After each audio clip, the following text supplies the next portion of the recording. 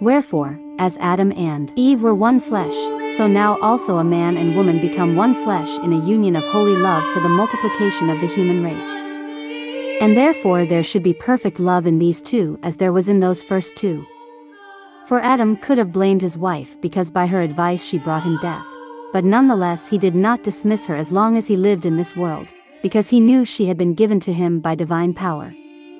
Therefore, because of perfect love, let a man not leave his wife except for the reason the faithful church allows. And let them never separate, unless both with one mind want to contemplate my son, and say with burning love for him, We want to renounce the world and follow him who suffered for our sake. But if these two disagree as to whether they should renounce the world for one devotion, then let them by no means separate from each other, since, just as the blood cannot be separated from the flesh as long as the spirit remains in the flesh, so the husband and wife cannot be divided from each other but must walk together in one will. But if either husband or wife breaks the law by fornication, and it is made public either by themselves or by their priests, they shall undergo the just censure of the spiritual magisterium. For the husband shall complain of the wife, or the wife of the husband, about the sin against their union before the church and its prelates, according to the justice of God but not so that the husband or wife can seek another marriage, either they shall stay together in righteous union, or they shall both abstain from such unions, as the discipline of church practice shows.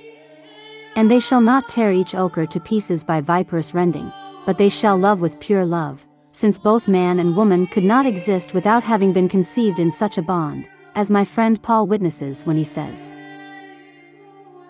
12. Words of the Apostle on this subject. As the woman is of the man, so is the man for the woman, but all are from God, 1 Corinthians 11:12. Which is to say, woman was created for the sake of man, and man for the sake of woman.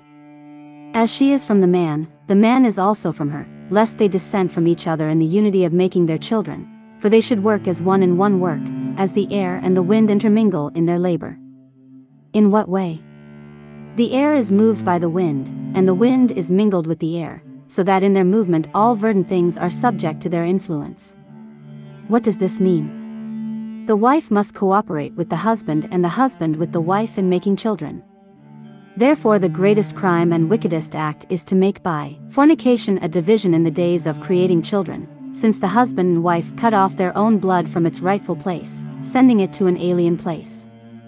They will certainly incur the deceit of the devil and the wrath of God, because they have transgressed that bond God ordained for them. Woe to them, therefore, if their sins are not forgiven. But although, as has been shown, the husband and wife work together in their children, nevertheless the husband and the wife and all other creatures come from the divine disposition and ordination, since God made them according to his will. 13. Why before the incarnation some men had several wives. Before the incarnation of my son, however, certain men among the ancient people had several wives at once, as they wished. They had not yet heard the open prohibition of my son, who when he came into the world showed that the right fruit of this union of husband and wife as long as they live is the fruit manifest in the union of Adam and Eve, a union to be exercised not by the will of man but by the fear of God. For it is better to have this right union, by the arrangement of the prudence of the church, than to crave fornication but you humans ignore this, and pursue your lusts not only like humans but like beasts. But let there be right faith and pure love of the knowledge of God between husband and wife, lest their seed be polluted by the devil's art and divine vengeance strike them because they are biting and tearing each other to pieces and sowing their seed inhumanly with the wantonness of beasts. In such a case, jealousy will torture them. Like a viper, and without the fear of God and without human discipline, a defiled. Excessive seed will be stored up in them, and often, by the just judgment of God, this perversity of theirs will be chastised by having those born of them deprived of limbs and of health in their lives, unless I receive their penitence and show myself propitious to them. For if any shall call upon me in penitence for their sins, I will accept their penitence for the love of my Son. For if anyone lifts a finger to me in penitence, that is, reaches out to me in penitence and groaning in his heart, saying, I have sinned, Lord, before you. My son, who is the priest of priests, will show me that penitence, for penitence which is offered to priests for the love of my son obtains the purgation of the sinners. Therefore, people who worthily do penance escape from the jaws of the devil. trying to swallow the hook of divine power, has grievously wounded his jaw, and now, therefore, faithful souls pass out of perdition and arrive at salvation. How? Because the priests at the altar, invoking my name, will receive the confession of the peoples and show them the remedy of salvation. So, in order to find God propitious, let them not contaminate their seed by various vices, since those who emit their semen in fornication or adultery render their children, born of them thus, unsound. How? Can he who mixes mud or ordure with pure clay make a lasting vessel? Likewise, will he who contaminates his semen in fornication or adultery ever beget strong sons? But many work in different ways in their inmost being, and many of these become prudent toward the world and toward God. And with these the heavenly Jerusalem is filled, deserting vice and loving virtue, they imitate my Son in chastity and in great works, carrying in their bodies, as much as they are able, his martyrdom. But when I do not wish a person to have children, I take away the virile power of the semen, that it may not coagulate in the mother's womb, so also I deny the earth the power to bear fruit when by my just judgment I will to do so. But do you wonder, O human, why I let children be born in adultery and similar crimes? My judgment is just. For, since the fall of Adam, I have not found in human seed the justice that should have been in it, for the devil drove out this justice by the taste of the fruit. Therefore I sent my Son into the world born of a virgin, so that by his blood, in which there was no carnal pollution, he might take away from the devil those spoils that he had carried off from humanity. 14. No human or angel but only the Son of God could deliver man. For neither a human being, conceived in sin, nor an angel, who has no covering of flesh, could save man, wallowing in sins and laboring under the heaviness of the flesh, from the power of the devil, but only he who, coming without sin, with a pure and sinless body, delivered him by his passion. Therefore, though human beings are born in sin, I nevertheless gather them into my heavenly kingdom when they faithfully seek it. For no wickedness can take my elect from me, as wisdom testifies, saying. 15. Words of wisdom on this subject. The souls of the just are in the hand of God, and the torment of death shall not touch them. Wisdom 3 1. Which is to say, the souls of those who embrace the path of rectitude with devout affection are aided by the celestial helper, so that, because of the good works by which in the height of justice they strive for heaven, the torment of perdition does not break them, for the true light strengthens them in the fear and love of God. But after Adam and Eve were driven out of the place of delight, they knew in themselves the work of conceiving and bearing children. And falling thus from disobedience into death, when they knew they could sin, they discovered sin's sweetness. And in this way, turning my rightful institution into sinful lust, although they should have known that the commotion in their veins was not for the sweetness of sin but for the love of children, by the devil's suggestion they changed it to lechery, and, losing the innocence of the act of begetting, they yielded it to sin.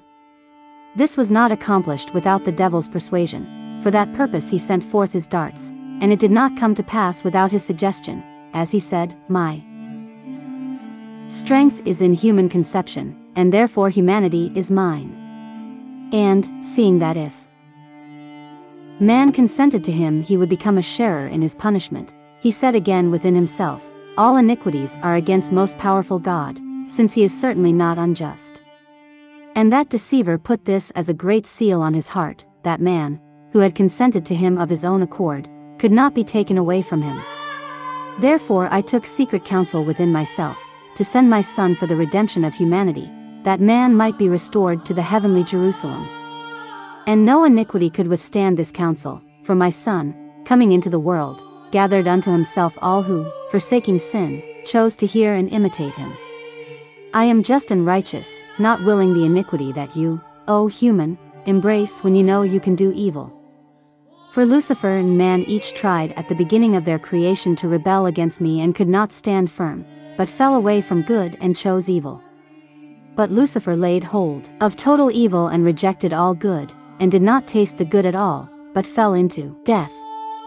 Adam, however, tasted the good when he accepted obedience, but he longed for evil, and in his desire accomplished it by his disobedience to God. Why this happened is not for you, O human, to investigate. Mortal cannot know what there was before the creation of the world or what may happen after the last day. But God alone knows this, except insofar as he permits his elect to know it. But that fornication, which is commonly done by people, is abominable in my sight, for I created male and female from the beginning in integrity and not in wickedness. Therefore, those hypocrites who say it is lawful for them to commit fornication, with animal appetites, with whomever they wish, are unworthy of my eyes, because, despising the honor and loftiness of their rationality, they look to the beasts and make themselves like them. Woe to those who live so and persevere in this wickedness. 16. Blood relatives may not be united in marriage.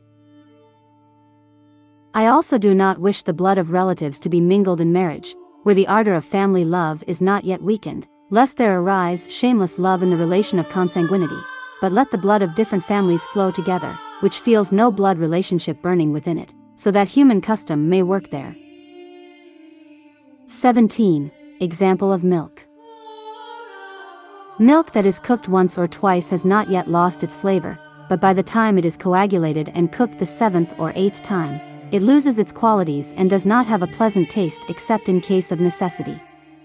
And as one must not have sexual relations with a relative who is one's own spouse, so also one must abhor a sexual relationship with a relative related not to one but to one's spouse. Let no human being join in such a coupling, which the Church by its doctors, who established it in great responsibility and honor, has forbidden. 18. Blood relatives could marry in the Old, but not in the New Testament. Under the Old Testament people married their blood relatives by the precept of the law, but that was allowed because of their hard-heartedness, so that they might be at peace among themselves and charity be strengthened in them, so that these tribes would not break my covenant by dividing and mixing with the pagans in marriage, until the time came when my son brought the fullness of charity, changing the joining of relatives in carnal bonds into marriages with different people in bashful modesty. Thus, since the bride of my son, the church, now possesses in holy baptism a bond of my fear and righteous justice, let such joinings of relatives be far from her, for the embraces of a man and woman related by blood would be wickedly enkindled into shameless fornication and ceaseless lust much more than those of unrelated people. I am explaining this by this person, Hildegard, to whom this human operation is unknown. She is receiving this explanation not from human knowledge, but from God. What next? 19 A man should be adult to marry and take only a wife of marriageable age. When a male is at the age of strength, so that his veins are full of blood, then he is fertile in his semen. Then let him take in lawfully instituted marriage a woman who is also at the age of heat, that she may modestly receive his seed and bear him children in the path of rectitude. 20 On the avoidance of illicit and lustful pollution. But let not a man emit his semen in excessive lust before the years of his strength. For if he tries to sow his seed in the eagerness of lust before that seed has enough heat to coagulate properly, it is proof that he is sinning at the devil's suggestion. And when a man is already strong in his desire, let him not exercise his strength in that work as much as he can, because if he thus pays attention to the devil, he is doing a devilish work, making his body contemptible, which is entirely unlawful. But let the man do as human nature teaches him, and seek the right way with his wife in the strength of his heat and the vigor of his seed, and let him do this with human knowledge, out of desire for children. But I do not want this work done during the wife's menses, when she is already suffering the flow of her blood, the opening of the hidden parts of her womb, lest the flow of her blood carry with it the mature seed after its reception, and the seed, thus carried forth, perish. At this time the woman is in pain and in prison, suffering a small portion of the pain of childbirth. I do not remit this time of pain for women, because I gave it to Eve when she conceived sin in the taste of the fruit, but therefore the woman should be cherished in this time with a great and healing tenderness. Let her contain herself in hidden knowledge, she should not, however, restrain herself from going into my temple, but faith allows her to enter in the service of humility for her salvation. But because the bride of my son is always whole, a man who has open wounds because the wholeness of his members has been divided by the impact of a blow shall not enter my temple, except under the fear of great necessity, lest it be violated, as the intact members of Abel, who was a temple of God, were cruelly broken by his brother Cain. 21. A woman shall not enter the temple after birth or defloration by a man. So a woman, too, when she bears offspring, may not enter my temple except in accordance with the law I give her, because her hidden members have been broken, that the holy sacraments of my temple may be unviolated by any masculine or feminine pain or pollution, because the most pure Virgin bore my son, and she was whole without any wound of sin. For the place that is consecrated in honor of my only begotten should be untouched by any corruption of bruise or wound, because my only begotten knew in himself the integrity of the virgin birth. Therefore, let a woman who breaks the wholeness of her virginity with a man also refrain from entering my temple while injured by the bruise of her corruption, until the injury of that wound is healed, in accordance with the sure instruction of church teaching. For when his bride was wedded to my son on the wood of the cross, she kept herself hidden until my son commanded his disciples to teach the truth of the gospel throughout the whole world. But afterward she arose openly and publicly preached the glory of her bridegroom in the regeneration of the Spirit and water. So let a virgin, who is joined to a husband, do the same, namely remain hidden with modest shame. Until the time which church opinion appoints for her, and when she has given herself over to the love of her husband in her concealment, let her come forth openly. 22. Those who have intercourse with the pregnant are murderers.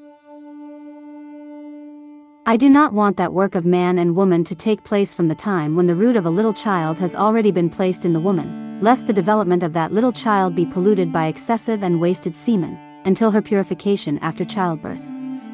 After that it may be done again, in rectitude and not in wantonness, for the love of children. Thus the human race may procreate by honest human custom, and not as foolish people babble when they claim it is lawful to satisfy their lust at will, saying, How can we contain ourselves so cruelly? O humans, if you pay attention to the devil, he will incite you to evil and destroy you with his deadly poison. But if you raise your eyes to God, he will help you and make you chaste. Do you not desire chastity in your works rather than lust? The woman is subject to the man in that he sows his seed in her, as he works the earth to make it bear fruit. Does a man work the earth that it may bring forth thorns and thistles? Never, but that it may give worthy fruit. So also this endeavor should be for the love of children and not for the wantonness of lust. Therefore, O humans, weep and howl to your God, whom you so often despise in your sinning, when you sow your seed in the worst fornication and thereby become not only fornicators but murderers, for you cast aside the mirror of God and sate your lust at will. Therefore the devil always incites you to this work, knowing that you desire your lustfulness more than the joy of children. Here, then, you who are among the towers of the church. In your fornication do not accuse me, but consider yourselves. For when you despise me and run to the devil, you do unlawful things, and therefore you do not wish to be chaste, as my servant Hosea says, speaking of the corrupted people. 23. Hosea on this subject. They will not set their thoughts to return to their God, for the spirit of fornication is in the midst of them, and they have not known God. Hosea 5 verse 4. Which is to say, evil people who do not know God hide the countenance of their heart, and do not do the various things that would bring it back to true brightness. That is, they do not see with clear eyes the things that are of God, but nurture evil in themselves. For, by the devil's persuasion, the breath of wanton impurity weakens the virile strength they should have, and they cannot put good faith in God because the devil turns them away from the life of felicity.